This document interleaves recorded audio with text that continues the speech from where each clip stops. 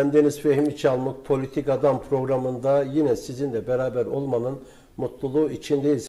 Politik Adam'da Fehmi Çalmuk'un konuğu olan AK Parti MKYK üyesi Metin Külünk, pandemi sürecinde korku algısı oluşturularak 15 Temmuz girişiminin tamamlanmaya çalışıldığını iddia etti.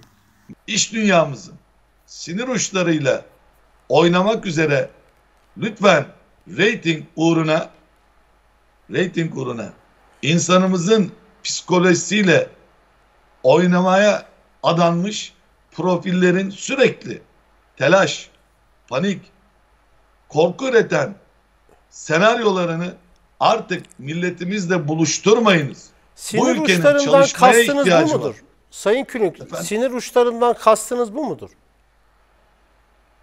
Yani sinir sinir uçlarımızdan uçlarıyla şimdi oynamayın siz her akşam her akşam ekran ekran dolaşıp bilim adamlığı kavramının arkasına saklanarak sürekli topluma güven yerine evet bir hastalık süreciyle karşı karşıyayız.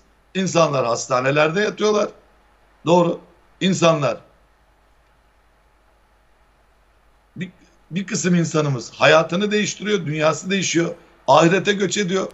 Hastanelerimiz bu anlamda, sağlık dünyamız müthiş bir imtihan veriyor.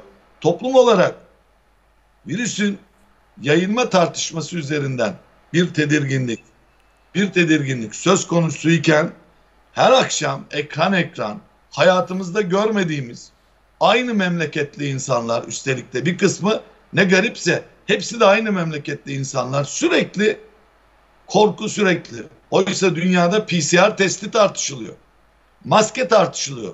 Bakınız dünyada PCR testi tartışılıyor ve ekranları garip bir şekilde bakınız bunlar önemli. Bir algı Kamuoyu- yönetiminden mi bahsediyorsunuz? efendim Bir algı yönetimi mi var bu pandemi? Elbette algı yönetiminin doğrudan hedefi doğrudan hedefi 15 Temmuz akşamı başaramadıklarını yani silahlı işgalle Türkiye'yi bir iç savaşa sokmak isteyenlerin 15 Temmuz akşamı Erdoğansız Türkiye hedeflerine yönelik attıkları adımla işgal girişimi denediler.